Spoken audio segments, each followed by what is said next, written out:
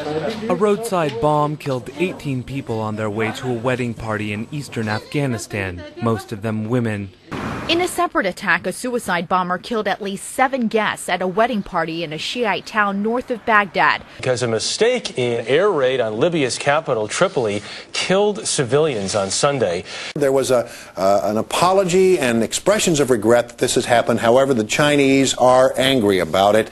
Uh, they took it to the United Nations last night, complained very loudly, vociferously about uh, the treatment they had received. Uh, even though it's been declared an accident, they are calling it barbaric.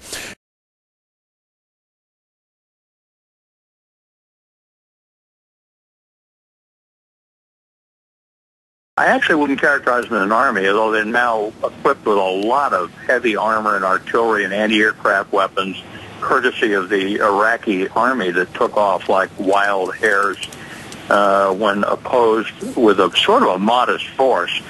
We act to protect thousands of innocent people in Kosovo from a mounting military offensive.